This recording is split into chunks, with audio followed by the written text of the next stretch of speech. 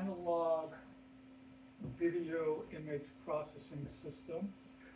Uh, It has a lot of Jones here. David Jones was a design, uh, an electronic engine, and well, David Jones was an engineer at the Experimental Television Center. Oh, okay.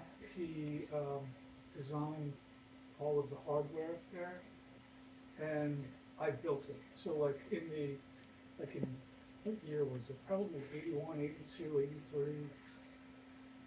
84. I was building stuff with David Jones. And then I just kept doing it little bit. Cool.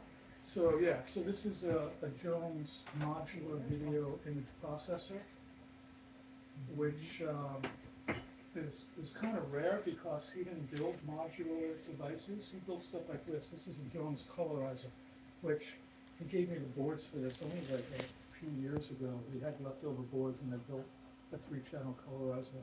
This is, uh, a, a Jane, a Jones frame buffer, which is really early, yeah.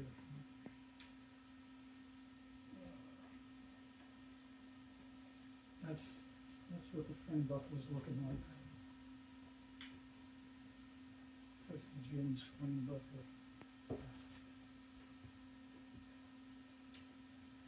Um, so it's like, it's like, uh, thirty-two frames of low resolution digital video. Uh, this is all analog stuff before Eurorack.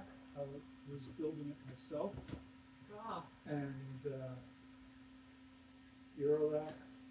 This is also, this is all Jones, a combination of, yeah, this is mostly Jones two more output amps. I took a, a of his and I, I modified it to be a soft edge keyer. HSV modules, which is one of the ways I colorize. More analog modules. I call these um, uh, uh, those are kitchen table synthesizers.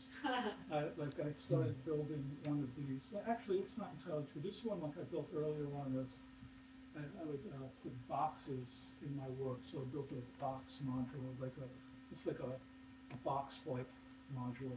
Hmm. And um, this I had originally built for an installation, but this one was kitchen tabletop. And I thought I would, you know, get my son, get my son, you know, have the experience of building a synthesizer with me. You know, they, uh, didn't just like kind of sat, you know, sat there for a while.